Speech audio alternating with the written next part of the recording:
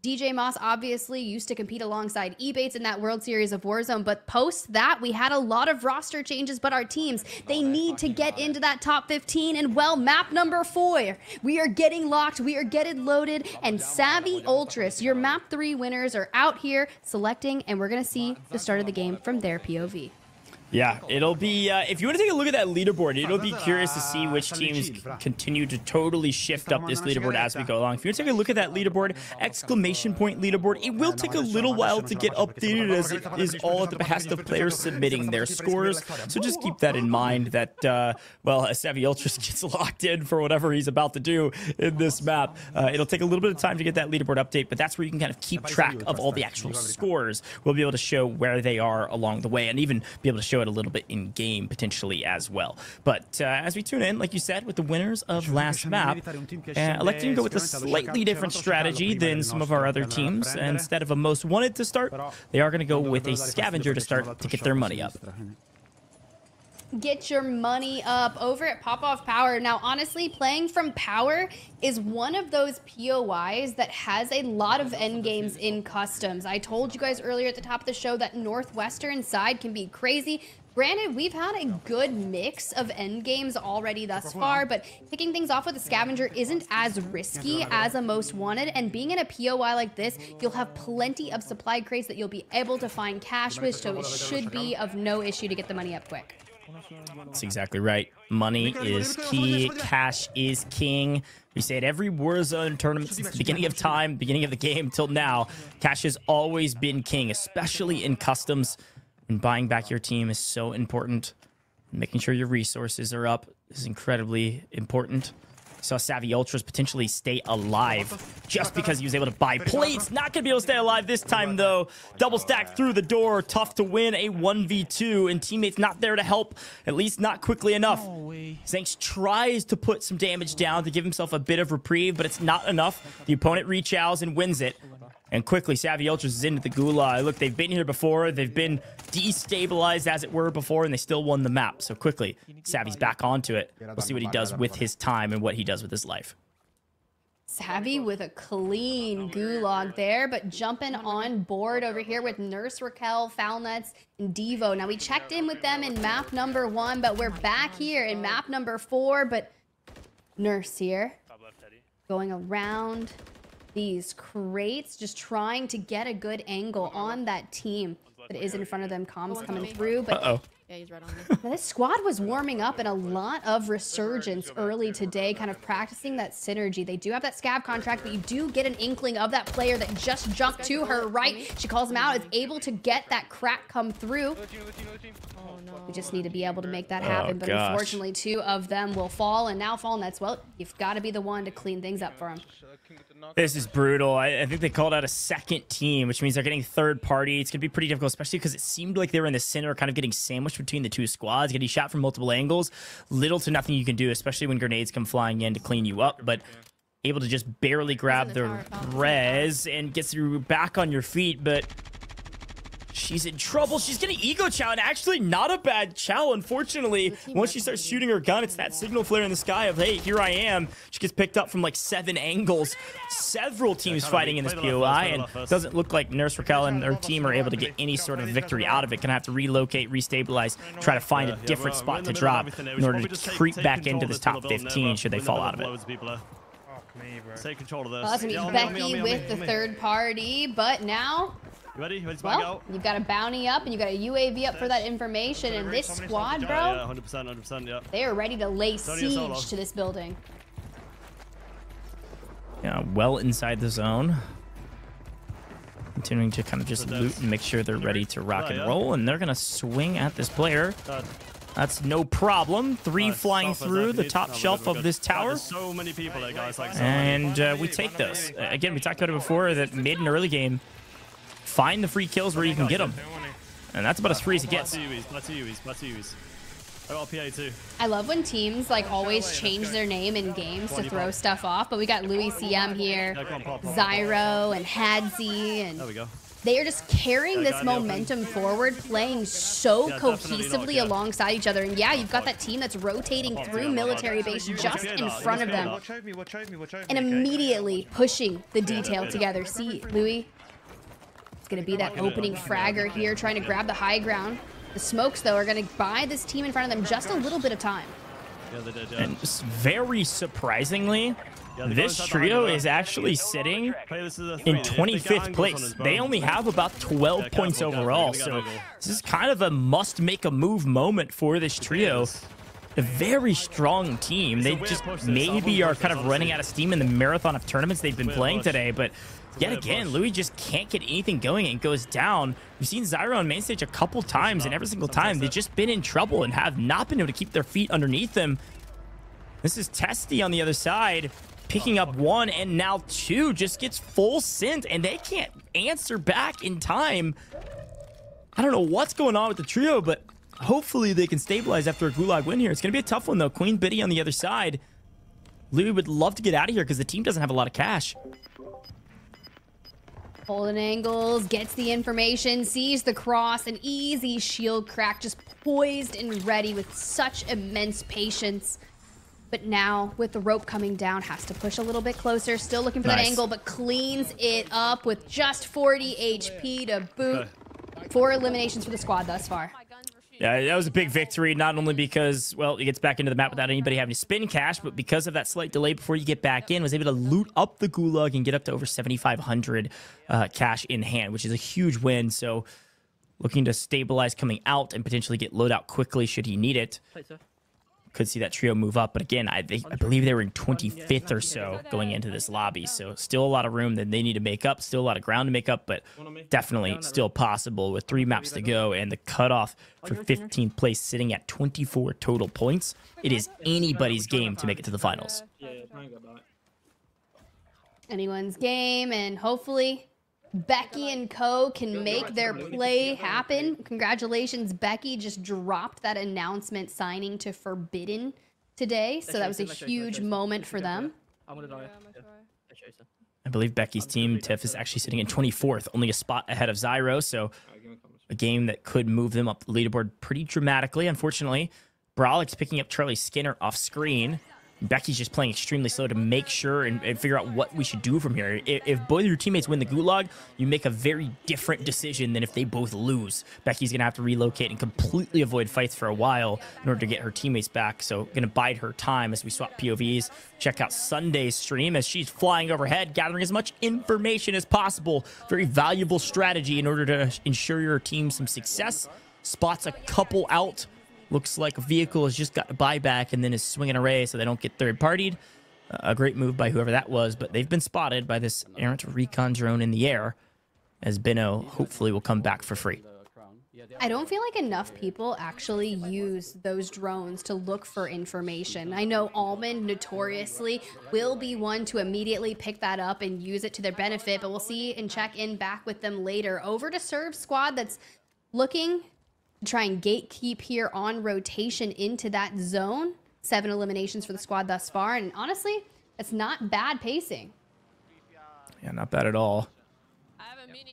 Again, Serve's been playing a lot of customs recently, and it looks like Becky actually got picked up and both of her teammates down as well. This is a must-win for Becky. 24th place on the leaderboard. Top 15 make. We have two more maps, but you hate to rely on the final two maps to make a move up the leaderboard. Unfortunately, you're going to have to. That's Tappa coming back in, and well, it seems like it's well needed because teammates Nate Dogg out, Swish him out, Fuzzin and Pentagon pushing the equation for the first time on screen answering and finding a couple eliminations. We'll see maybe a Swish's team, who's inside the top five, I believe, still, will be able to make a move in this fourth map, or will they drop down the leaderboard a little bit because of some early frustrations?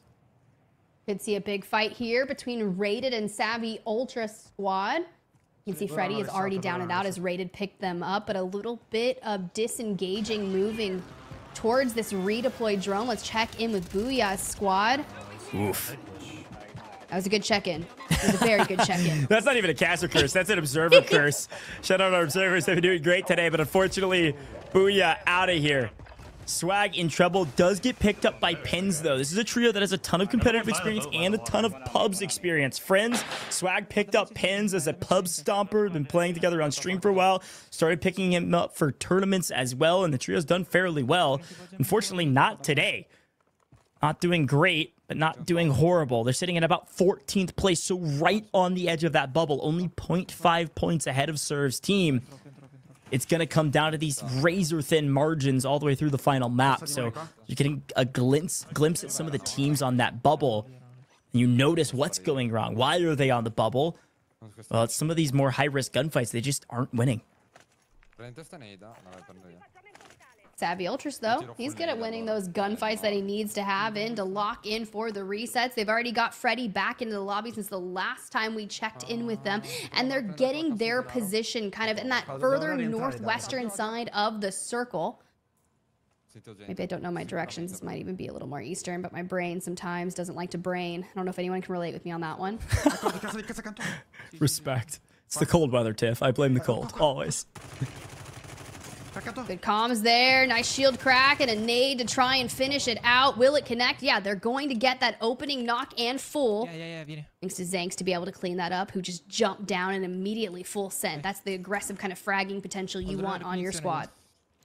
That's a good team fight there, and I think they, they've kind of learned through the last couple maps. There's been a couple times we tuned into this stream, whether it was Zanks or was Savvy, where they weren't playing close enough together and they lost lives because of it. So now they're kind of body stacking, not letting a player go in by themselves, always have each other's trades. It's paying off, and they're getting a ton of utilization out of this recon drone, a ton of resources of information, rather, that they're able to utilize here. A full team of three in a building across from them. They don't necessarily have to push it, but at least they know that they're there, which means if they start hearing gunshots in that direction, they know exactly where that team is at and what team they could third party and pinch if they're able to sneak over there. So they don't have to take the fight, but at the very least, they know exactly where they are. C'è un team che, c'è un team che crossa da qua. A? Good comms here, just really highlighting all of the positioning because once that next circle pops and we look for our teams that are going to have to start rotating, but taking all the damage and just kind of navigating throughout the window here, Ok, ok. stacking up and not a bad rotation. We just have to move a little bit further. So having the drone information on where those teams were and being able to just set their sights on their free building, they run into no issue. especially for a team like this. You know, we talked about kind of like uh, thinking about the teams on the bubble. A team that's in the top five. Honestly, this is kind of how they should be playing. They're not playing hyper aggressive. They're kind of protecting their POI. They're protecting their piece of cover. They're getting information. They're not taking fights that are difficult because they don't have to. They need to score only five, six, seven, eight points at the most per map going forward, and they're likely to be top 10. Unfortunately, other teams are going to have to play hyper aggressive, and well, they're getting slammed because of it. Somehow swings in thinking it's going to be a free kill and finds himself on the other end of two different gun barrels. Not a chance in the world to win the 1v2 and doesn't even get a knock. That's a frustrating loss if you're, and I think that might have been Luis CM, teammates here with uh, Zyro. So I, I don't know what happened, but it didn't go well. Not enough cash to be able to hit that buyback, so they're gonna need to either loot up at just a mere $400 cash or so, but they get the noti that an enemy is dropping back in and immediately run to the roof.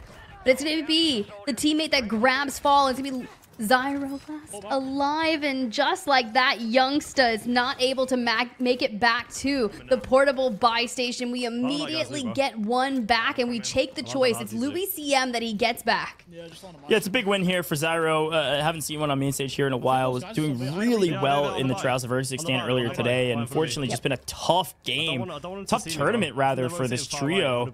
They've just been kind of on their heels for the last several maps. They might have a moment here to potentially stabilize with that portable buy on top. If Louis CM can kind of land and loot and grab some cash and then get back over to Zyro, maybe they get all three alive and can kind of play for these final couple fights. But continue to swap perspectives. Savvy Ultras, the winners of last map. Again, a 30 point victory, a huge one for them. Has put them into the top five. They've made it to the top 17 thus far. Again, multipliers start at top 20. So a 1.1x multiplier for now, and about to change over to a 1.3 inside the top 15. And there's a couple kills to potentially push it over the edge. Oh, I love exactly what Zanks and Freddy are doing. Now, Zanks and Freddy, they've played as a duo in a multitude of tournaments. They split their cash load, and Zanks is going to make the play to go ahead and get Savvy Ultras back. And you split your money because just in case something happens to Zanks at this point, Freddy can go ahead and hit the buy station, immediately pushing the issue. We knew Testy FPS and Astro Imagine were already in the vicinity because they were able to grab a knock onto Astro earlier. So Testy was looking to hit that buyback. But just like that works for Zanks, he's able to grab that elimination. Let's check in with the aggressive team of Zlaner and Destroy, though, Ghosh, because I'm curious to see what pacing they're able to set here now. But I'm going over here. looks like Raul's Just keep fully eliminated. Yeah, not the numbers we've been used to seeing from Destroy the last couple maps. This is map number four and only one elimination. And at this point in the last couple maps, he's had like six, seven, or eight at this point. So definitely a different map for them. Definitely some frustrations likely earlier, or potentially Zlaner has all the kills. I don't know. They do like to play together as a team. It's certainly We can play possible, but of here, okay? With Raul down, I can only imagine they've had some frustrations this map. They are inside the top 15, so they've secured some multipliers. Every kill going forward is going to be a, a large boon for them. They don't need to drop a banger going forward. They've done the legwork. They've put in the work beforehand. They're going to qualify. It's just a question of where will they end up on the leaderboard unless things go catastrophically wrong. And a, a duo that could do it all, a duo that could win even when outnumbered, Zlaner and Destroy still have a good chance here to do well in this map, but definitely not as many kills as we're used to seeing them have. Just vibing, okay? for freebies. I'm looking around for freebies. I mean, they're just looking for freebies and just vibing, okay? Look, they said it themselves. They're just trying to get through the game and down to the final 12 squads in that 1.3x multiplier. I'm hearing you. We could just keep going left. Keep going left. There's a buy, D. You guys don't have enough, though. Yeah, no, we don't have enough. Can we That's true. We got to get the cash up. Got to buy on a left, and well, you know what they say about buy stations. It's a perfect place in customs for teams to kind of overlook, and they're immediately getting pressured. Just gotta go. Okay, yeah. I just have to go. Yeah, We sometimes, you know, talk about classic these two little idioms. things, lower. The best defense is a good offense. Right now. Right now, they're inside top five overall on the leaderboard, and playing a somewhat defensive playstyle is not working. Getting slammed left, right, and center just because of their player disadvantage. Destroy goes down. It's going to be all up to Zlaner to keep their dreams alive in this map. Ultimately, not going to move the needle that into it, they much when it comes to the teams on the bubble, but it's still something you need to keep an eye on just to make sure they can grab a couple more points over the next couple maps to make sure they make it to the finals. Because it's Warzone TIFF, anything can happen. But for a team like this, in 25th place going into this map, this is a crucial one. There is no more gimmies. There are no more mulligans. You've got to start making a move up the leaderboard, and you've got to do it now. Louis is on four, playing a bit reckless earlier because, well, maybe sometimes you just have to. But a couple more kills this time around than the last several maps. They only had Yeah, yeah, yeah. Almost 11.9 maxed out to points between the last three maps. I can only imagine they will at least double that in this map, regardless of how it ends. Però non rischiamo, non rischiamo, non è... Rotiamo davanti, no? Rotiamo davanti, rotiamo Well. Team Savvy Ultra is sitting with 54.6 points inside the top three after their map three victory. You know they're feeling pretty good and rated, looking like a solo warlord out there with six eliminations. Map one victor, just trying to keep consistent, following that eight point average almost in eliminations alone at the bare minimum to make it in the top 15. And, and barring anything catastrophic, this is a team that will likely qualify. I'll go 99.9%. Yeah. Especially with that 80 points. Uh, Like that's- you never know. Anything could happen. 99.9 though. It's kind of funny too, because like when you follow this POV now, given the stakes that are that are at hand here in this tournament format, you're following Rated's POV to see who kills him. Now you're seeing it's Zanks on the other side, another team that's likely safe. That's going to be a Savvy Ultras team who's also inside the top five. So you're seeing a, a continual cycle of some of these top teams lasting till the final couple teams. We're down to six total trios left in this lobby, and this could be a massive one for Lola's team, a team that is right around that cutoff point. 18th place, total of over a little over 20 points going into this lobby. This could be a game that could double their points if they can drop a 10 kill victory. All three alive and on high ground. This is a great spot to be in. We saw Brawlic frying out earlier. If he has five, six, seven eliminations at this point, Tiff, they could be in a really good spot. Unfortunately, they're getting PA'd out of their pieces of cover here.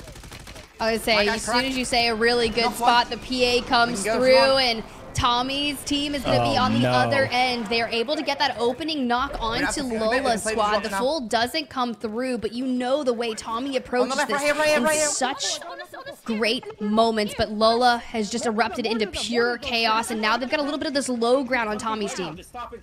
And surprisingly, Tommy's team's right in contention with them. They're in 17th place, just outside of qualifying. Tommy needs a massive one here. And well, Tiff, you look at his kill total. I think this is the map they've been looking for. A team I knew was going to play high risk, high reward. And apparently, it's not been paying off. That risky factor has been hurting them through the course of the first three maps.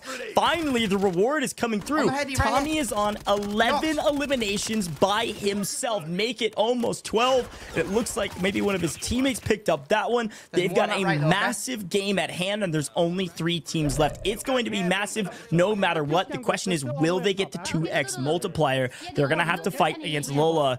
They're going to have to fight against the team right behind them and score. This is 17th place versus 18th place. It looks like the third team is in ninth place. That's Scummin Squad. Who's going to take map four? You got Scummin, Tommy, Lola. Tommy, though, immediately hits that rotation earlier, but there, the if you What's saw liking a moment earlier, Lola and them had Knox. already dropped down, but still, it's going to be Brolic who Tommy is Behind able to drop the numbers. He's trying to stack Wow. them in their advantage, but Z-Smith's going to fall. C-Smith's down, but they have wiped Lola's team. It is now all up to Scummin to stop the terror that is Tommy. If he can stop this 2x multiplier, this is a massive boon for any team trying to qualify because Tommy's Got the guy going to jump one up this leaderboard dramatically, on the right, one but the 2x will do tons for this team. This could push them from 17th all the way inside, well inside the top 10, potentially even top 5. Huskerrs is on 4. Tommy's on at least 12. This is a monster game, and it looks like everything's going in their way. No, Unrational's able to drop Tommy. It's all up to Huskerrs. We've seen this before. Who's going to win it? Former teammates, Scummin, Unrational, they go down, and their former, former teammate, that is Huskerrs, wins it all in map 4. They needed that 2x, and it is gigantic, even bigger than I was expecting. That is a 54 point game. Is 2x multiplier? Yeah, 2x. Oh boy. Uh, Not a bubble team anymore here for day number one. A banger game, 54 points will shoot them up that leaderboard way above that average needed and that eight point average per game to really stretch that 15th place. Well, you did it in one match.